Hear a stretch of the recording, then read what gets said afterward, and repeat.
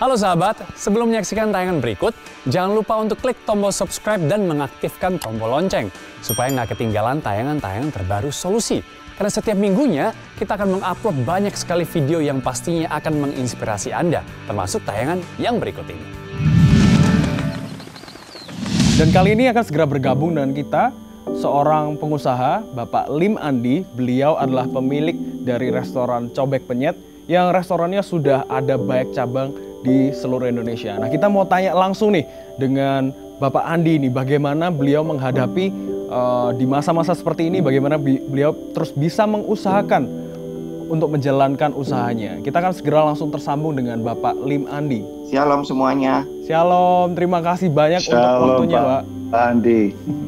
terima ya. kasih banyak untuk waktunya. Kita boleh ya, Pak ya, sekarang sedikit diskusi, pengen interview Bapak Andi juga sebagai pebisnis yang merasakan dampak dari wabah corona ini, Pak?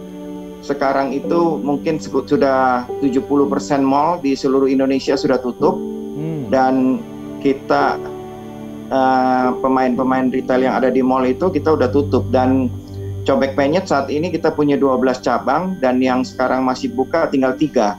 Hmm. Nah besok udah mulai ada tutup lagi jadi tinggal dua. Mungkin wow. Minggu depan saya rasa udah tutup semua. Wah. Jadi ini eh, masa-masa uh, yang berat, yang sangat sulit untuk uh, pelaku dunia usaha.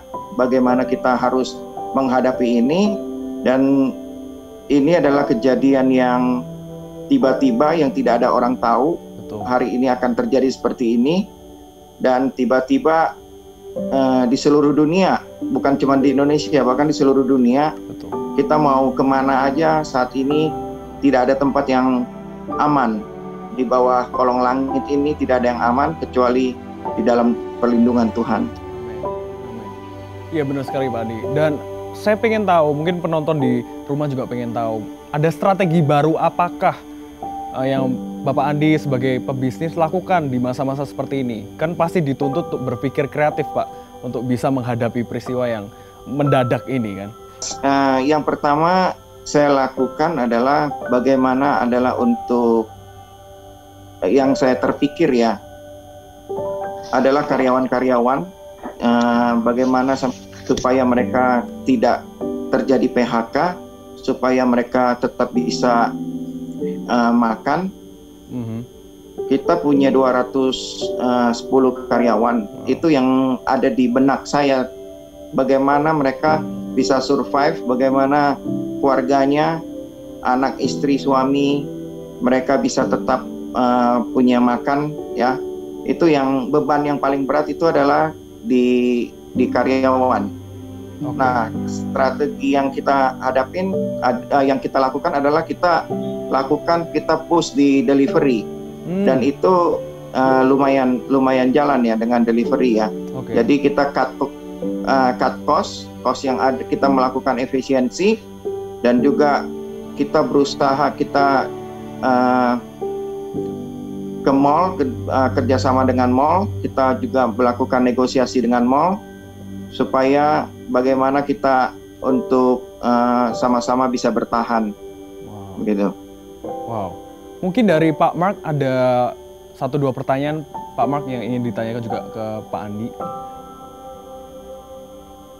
Pak Andi uh, kalau uh, dengan 210 karyawan banyak juga yang dikasih nginep ya harus dikasih makan.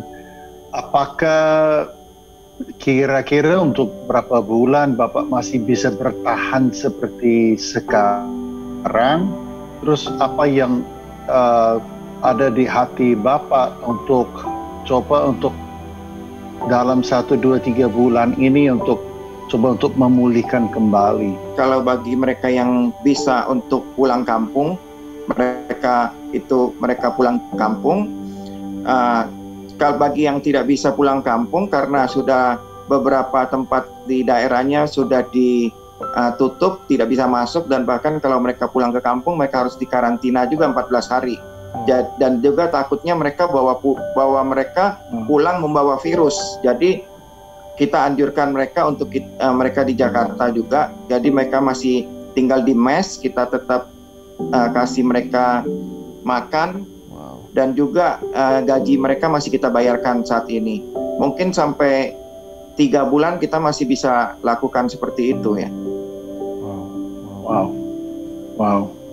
Berarti ini ini istilahnya harus bersedia bleeding dulu ya Pak ya sambil uh, membaca uh, perkembangan dan coba untuk menata nextnya gitu ya Pak ya. Yang utama adalah satu tidak PHK karyawan itu yang paling utama saya uh, itu yang uh, saya pikirkan dan saya selalu uh, saya percaya bahwa kalau 210 orang ini berarti adalah orang-orang yang Tuhan titipkan kepada saya kalau saya saja memikirkan mereka saya percaya bahwa Tuhan akan lebih memikirkan saya dan mereka makanya saya tetap optimis ini adalah uh, orang-orang yang harus saya selamatkan. Jadi saya saya optimis, saya yakin bahwa uh, saya mampu melewati badai ini. Apa yang membuat Pak Andi bisa begitu tegar menghadapi uh, momen seperti ini, Pak, sebagai seorang pebisnis? Karena saya punya keyakinan ya, karena ada pengharapan di dalam Tuhan. Saya percaya bahwa bagi setiap kita yang berharap sama Tuhan itu kita punya pengharapan. Hmm. Nah itu yang itu yang membuat saya tuh positif ya. Dan jadi saya tuh uh, yang pertama adalah saya positif.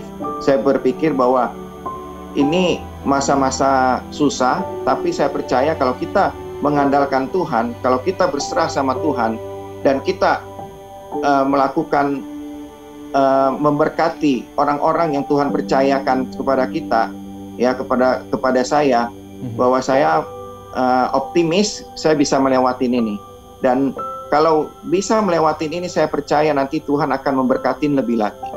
Wow, amin. Wow. Pak Andi juga bisa sampaikan satu dua tips untuk para pebisnis lain yang kali ini bisa juga menyaksikan uh, tayangan ini, Pak, untuk bagaimana mereka bisa seperti memiliki mental seperti Pak Andi saat ini. Kemarin juga kita ada melakukan uh, untuk memberkati. -huh. para driver-driver online ya. Uh -huh. Jadi waktu itu Tuhan kasih waktu itu uh, kan banyak di di sosmed ya yeah. banyak di sosmed yang mau memberkati driver uh, ojek online betul dan waktu itu saya dikasih hikmat sama Tuhan banyak orang yang mau memberi tapi mereka kadang bingung gimana mau memberinya mm-hmm. jadi saya, saya lakukan uh, di sosmed kita promosikan untuk setiap orang yang delivery yang pesan di cobek penyet hmm. maka maka cobek penyet memberikan kepada mereka uh, driver uh, online-nya itu uh, free nasi goreng cobek penyet dan wow. itu luar biasa impact-nya dari mulai hari pertama kita lakukan sampai sampai hari ini tuh yang yang yang order tuh banyak antusias wow. dan saya melihat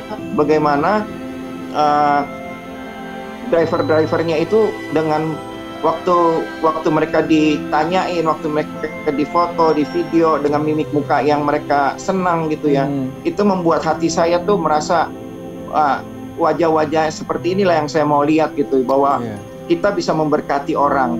Jadi melalui apa yang saya lakukan ini, saya mengajak teman-teman juga di teman-teman di uh, bisnis kuliner yang lain juga. Saya saya mengajak mereka juga, ayo kita lakukan sesuatu Jangan jangan hanya kita menunggu pemerintah melakukan sesuatu, tapi apa yang bisa kita lakukan, apa yang bisa kita kerjakan, kita mulai dari kita. Dan mulai beberapa teman, mereka juga ikut apa yang saya lakukan juga. Wow. Dan juga mereka mem, uh, melakukan memberkati juga para uh, driver-driver uh, online itu. Kita diberkati untuk menyalurkannya juga kepada orang lain. Fantastic, it's amazing. Tapi ini adalah Pak Andi mempraktekkan di dalam masa yang sukar. Betul. Dan uh, saya pikir bahwa kita semua harus memiliki pikiran yang sama. Mm-hmm.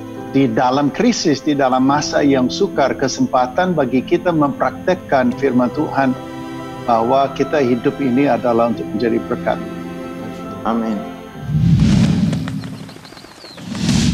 Halo sahabat, thank you sudah menonton tayangan ini sampai habis. Dukung terus program Solusi dengan cara memberikan like dan juga share video ini ke teman-teman kalian. Atau Anda juga bisa mendukung Solusi dengan cara berdonasi melalui link di bawah ini. Agar program Solusi bisa terus ada dan juga menginspirasi banyak orang. God bless you.